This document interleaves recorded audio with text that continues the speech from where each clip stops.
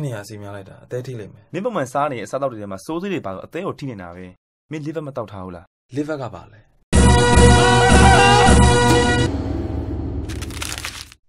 တဘာဝဆေးဘက်ဝင်ပေးရှင်မျိုးနဲ့ထုတ်လုပ်ထားတဲ့ Live Up အသေးအားစေးကိုနေ့စဉ်တောက်သုံးခြင်းဖြင့်အသေးဆွမ်းဆောင်မှုအားကိုကောင်းမွန်စေပါတယ်။အသေးအတွက်မစိုးရင်ပါနဲ့ Live Up အသေးအားစေးနောက်တစ်ခုကအဲ့ဒီဆိုးဆိုးဝါးဖြစ်လာတယ် တပြေတွေပိမ့်ပိမ့်ပိမ့်ပိမ့်ဘာအကြောင်းမဲ့ပိမ့်တာပေါ့အကြောင်းမဲ့ပိမ့်ပိမ့်လာအဲ့ဒီကနေပြီးမှသွေးအန်တတ်တယ်အသေးက6ပြီးကျုံသွားတော့အသေးရဲ့ဝင်တဲ့သွေးကြောတွေကမဝင်နေတော့ဆာမြူလန်ဆောင်တော့မှသွေးကြောဖောင်းနေဖြစ်ပြီးအဲ့ဒါပေါက်လာ hematemesis ခေါ်တာပေါ့ H A E M E T E S I hematemesis ဆိုတွေးကြပေါ့ဒါမှမဟုတ်အောင်မကတ်တယ်စီဝမဲမဲ M A E L E N E melina ဆိုပါတယ်အဲ့တော့ဝမဲမဲသွားမယ်တွေးရမယ်ဆိုရင်ဒီခါလေးထင်လွဲကြတာအဆိုင်လမ်းကြောင်းယောဂပဲဆိုပြီးအဲ့လိုထင်ကြတယ်ဟောဒီခါမဟုတ်ဘူးဒါအသေး6လို့ဖြစ်တယ်အသေး6တာပြင်မအဓိကယောဂပဲနော်အဲ့ဒါဖြစ်မယ်နောက်ဆုံးအဆင့်တော့အသက်ကင်ဆာအထိရောက်သွားတဲ့ခါမှာတော့ညာဘက်တစ်ချမ်းမှာအလုံးကြီးအလုံးကြီးပေါ်လာမယ်ပေါ့နော်ဒါအသက် အသက်ရောဂါလက္ခဏာတွေချက်လက်ပေါ့အပထမဆုံးအထွေတွေချွတ်တယ်မယ်စားလို့မကောင်းနေလို့မကောင်းအိပ်လို့မကောင်းပိန်မယ်ပိန်မယ်နောက်မျက်လုံးဝမ်းလာမယ်နောက်ခြေထောက်လေးရောင်လာမယ်နောက်ပိုက်ဖောင်းလာနောက်တော့အရက်တော့တဲ့လူတော့ပရိုဒစ်အကျိတ်တွေကြီးလာမယ်နှုတ်တွေကြီးလာမယ်အနီပြောက်တွေပုံပေါ်လာမယ်အနီပြောက်တွေဆက်တွေ sorry ပေါ်လာမယ်ဒါအသက်6လက္ခဏာပေါ့ဒါ ဟုတ်ပြီအဲ့လိုလက္ခဏာတွေစိုင်ဘာတွေဆက်ဆက်မှာလဲဘာတွေစစ်တက်နာလဲဘာတွေစစ်မှာလဲဆိုတဲ့အကြောင်းဆက်ပြောမှာပထမဆုံးအသေးရဲ့ function ကောင်းမကောင်းဆက်ဒီနေရာမှာမြန်မာနိုင်ငံမှာယူဆလွယ်မှားနေတယ်လို့ပြောရတယ် LFT ဆို liver function test ဆိုတာမှာအများစုစစ်ကြတာ ALD တို့ AST တို့ bilirubin တို့ alkaline phosphate မဟုတ်ဘူး liver function အသေး function ကောင်းမကောင်းပထမဆုံး protein တွေကိုသူကတိဆောက်ပြီးတွေးတဲ့ကိုလွတ်ပေးရတာ albumin protein အရေးကြီးဆုံးပဲဒါမှမဟုတ်အသေး function ကောင်းကောင်းသိရင် albumin ကိုစစ် albumin က4.5ဆိုရင်ဒါအသက် function လုံးဝကောင်းနေသေးတယ်အဲ့တော့အသက်6တန်းနေအသက် function ကောင်းမကောင်းစစ်ရမှာပေါ့နော် albumin တတိအောက်ရောက်သွားရင်တော့ဒါအသက်ရစတော်တော်လေးချွတ်တဲ့ပျက်စီးပြီပေါ့နောက်တစ်ခုကအသက်ကနေသွေးခဲရမှာလုပ်တဲ့ဟိုပစ္စည်းကိရိယာတွေကို protein တွေထုတ်ပေးတယ်အသက်မကောင်းလို့ရှင်သွေးရမခဲတော့ဘူးမှ prothrombin type PT ဆိုတာကိုစစ်ရမယ်နောက်တစ်ခါသဲမကောင်းလို့ရှိရင်တဲ့ရွက်ကြီးကြီးလာပြီးတော့သူက platelet တွေကိုစားဖြစ်တယ်အဲဒါကြောင့်မလို့ CP ဆိုတဲ့မန္တလေးမှာတော့ hemogram လို့ခေါ်တယ်အောက်မှာပြည်မှာတော့ CP လို့ခေါ်တယ်သွေးလို့ဆိုရင်သွေးနည်းသွေးမွားကြသွေးနည်းကြမယ်သွေးပြူကြမယ်သွေးမွား platelet ဆိုတာအဲ့ဒီတရားအောက်ရောက်ပြီဆိုရင်သိမကောင်းဘူးပေါ့ဒါအသေးနည်းနည်းမှာပြီပေါ့80 90အောက်တပြည့်ရောက်လာတယ်အဲ့တော့စဉ်းစားမယ်ဆရာ ကလည်းဘာဖြစ်လို့ပြည်သူလူထုကိုဒီတက်စေလျှောက်ပြောနေရတာပြည်သူလူထုကသိရမယ်သူတို့နိုင်ငံမှာဆိုရင်နာရာရှည်ယောဂတွေတွေဟာကိုယ်နဲ့ပတ်သက်တဲ့စစ်ဆေးမှုတွေဘာတွေစစ်တယ်ဘာတွေလုပ်တယ်အများအားသိအောင်ပြောပြလို့ရှိတယ်အဲ့တော့ခုနကလိုအသက်ကောင်းမကောင်းသိရင် albumin ကိုစစ်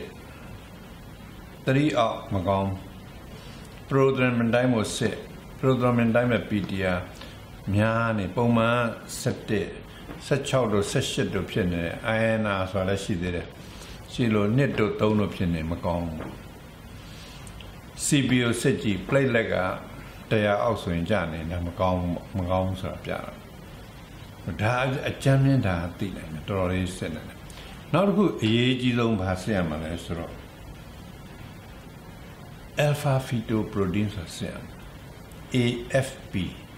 ALFA alpha feto FETO feto protein PROTEIN AFP ဆင်ဒါအသက်6ယောဂတွေအနေနဲ့အမြဲတမ်းလာတယ်3လတစ်ခါ4လတစ်ခါ6လတစ်ခါစစ်ဆေးပြီးရင်ဆိုင်တွေ့နေရမယ်တက်စီမလို့မတိမဖြစ်တက်စတင်လို့ပြောပြတာ alpha protein ဆိုတာ phyto ဆိုတာ fetus ဆိုတာကလေးဘွားပေါ့မိခင်ရဲ့ဝန်းဝန်းမှာပဲဒီ protein တွေရှိရမယ် ကလေးမွေးပြင်အဲ့ဒီ protein တွေပျောက်သွားလူကြီးတယောက်မှာဆိုရင် alpha AFP ကရှစ်မကျော်အောင်တဖြည်းဖြည်းတက်လာတယ်ဆိုရင်ကင်ဆာကိုပြုဆိုင်တော့ AFP 400ကျော်ပြီဆိုရင်ဒါကမ္ဘာ့ကျန်းမာရေးဖွဲ့နေပြီးအသက်ကင်ဆာလို့သတ်မှတ်တယ်။ဟော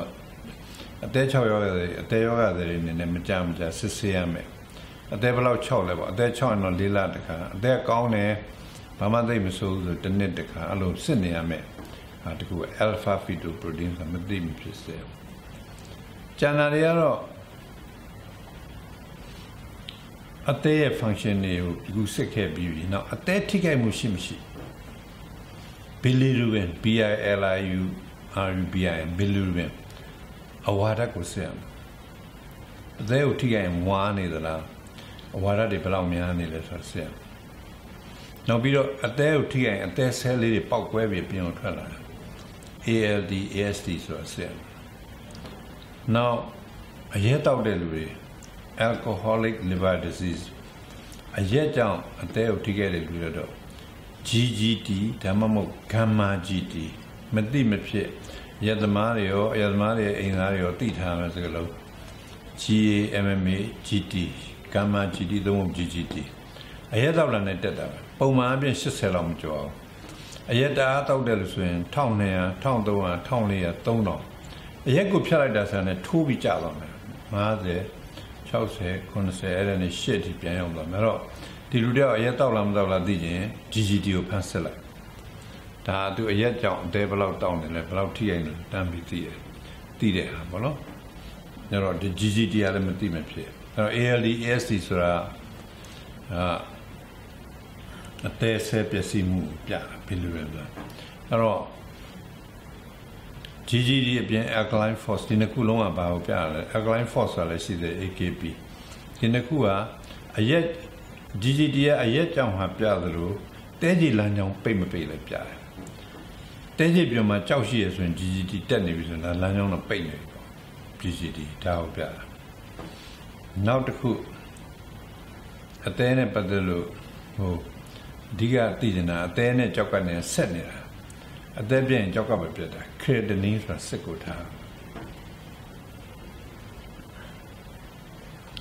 နောက်အသေးလက္ခဏာပြပြီဆိုရင်